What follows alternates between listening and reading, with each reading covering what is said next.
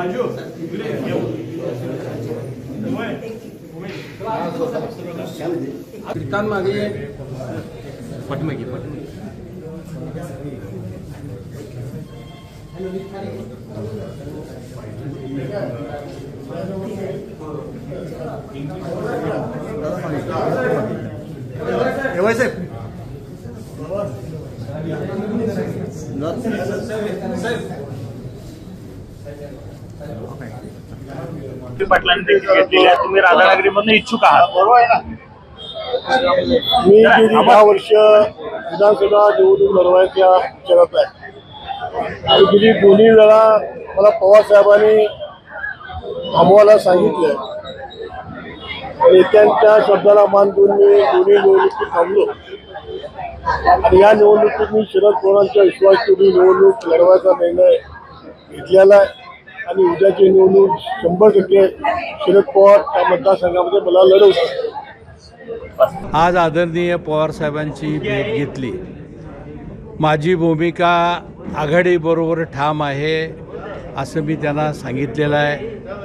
आता त्याचा निर्णय ते घेतील.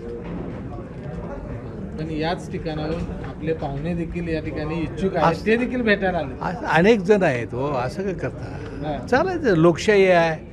प्रत्येकाच्या अपेक्षा आहेत भावना असतात बोलत असतात मागणी करत असतात. चालेल. ते स्वागतार्ह आहे. जेवढ्या मागण्या अधिक तेवढं स्वागतार्ह आहे.